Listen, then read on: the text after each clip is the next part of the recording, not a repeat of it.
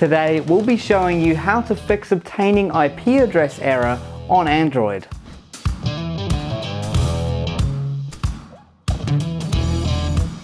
Hey guys, it's Joel here with Make Tech Easier. When connecting to Wi-Fi on your Android phone, you might encounter the obtaining IP address error occasionally. The obtaining IP address error is more common than you may think. You get this error because your router can't assign your Android device an IP address after you've entered the password. Your Android device will try to connect once again to see if it can get the IP address it failed to get the first time.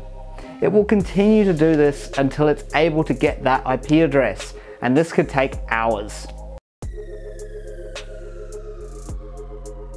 It's always a good idea to start with the basic reasons as to why you're getting this error. One possible reason is that a letter in your password is an uppercase letter, but you entered it as lowercase.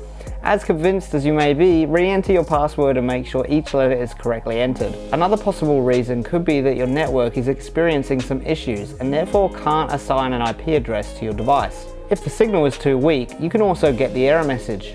The router may not have an IP for your device if the maximum amount of devices the router can support are connected.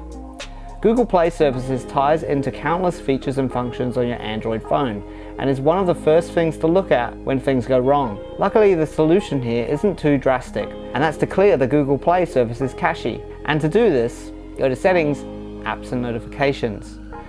Then make sure you're looking at your entire apps list. In Android 9.0, you expand the full apps list by tapping See All Apps. In the apps list, scroll down to Google Play Services Select it, then tap Storage, Clear Cache.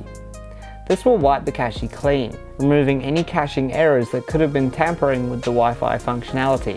After this, use your Wi-Fi like you usually would, and it will hopefully be back to normal.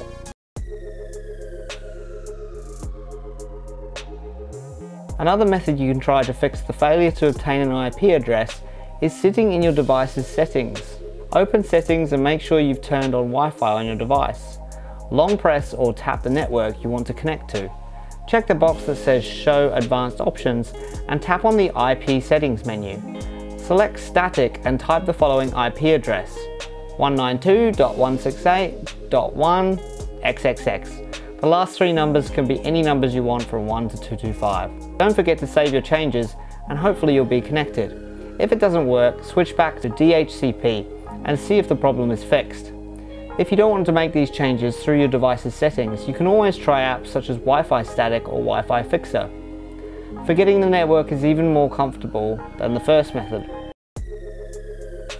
Once again, go to Settings, Wi-Fi, long press on the network you can't connect to and select Forget Network. Once the network is forgotten, try to look for it and connect as if it was the very first time. Enter the password and try to reconnect. It's not something that happens often, but some routers can overheat when you leave them for a long time. This could very well be the reason why your device can't get an IP address. Turn off the router for a few minutes, then turn it back on. If nothing has worked so far, changing the device's name has been known to work. Go to your device's settings and swipe all the way down to About Device. Swipe down and tap on Device Name. Just enter the name you want your device to have and tap on Done. The cause for this error can be difficult to pinpoint, but here you have various methods you can try. Remember to try the basic fixes first before you get into anything more complicated. Did I miss a method that has worked for you?